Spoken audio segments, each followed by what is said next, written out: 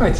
Bestuurderscongres 2017. Eh, jij hebt eh, verteld over eh, flexibel besturen. Ja. Wat, wat is dat?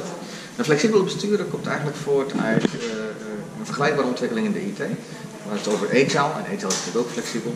Waarbij ze in de IT hadden begrepen, we moeten heel, ons heel snel kunnen aanpassen aan nieuwe situaties. Ik vind dat besturen dat ook zou moeten, Ja. om voorbereid zijn op de toekomst. Dus ik dacht van waarom kan ik dat gedachtegoed niet vertalen naar het gedachtegoed voor sportbestuur. En dat is flexibel besturen geworden. Ja. En we hebben daarvoor een manifesto opgesteld. Dat zijn eigenlijk eh, vijf regels die je kunt volgen. Regel 1. Spelplezier boven regels. Oké, regel 2. Persoonlijk contact boven vergaderen. 3 Vertrouwen boven controle. en 4 Kwaliteit boven rollen. en En 5. vijf, vernieuwing boven plannen. Vernieuwing boven plannen. Vernieuwing boven. Kan je daar wat meer over vertellen? Ja, eh, eh, een beetje in de oude wereld, hè, dan ging het allemaal nog niet zo snel. En dan maakten we een plan voor 1, 2, 3, misschien wel 5 jaar lang. Zo werkt het niet meer. We moeten heel flexibel zijn.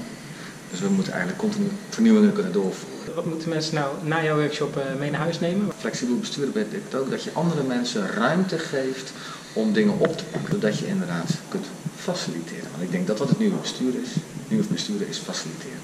En is dat dan ook loslaten? Vooral heel, veel loslaten. Want mensen, als je mensen ruimte geeft om dingen te doen, dan gaan ze bloeien ze op, gaan ze nieuwe dingen oppakken. En dan kun je als bestuurder werkelijk verbaasd zijn wat er vanzelf gaat.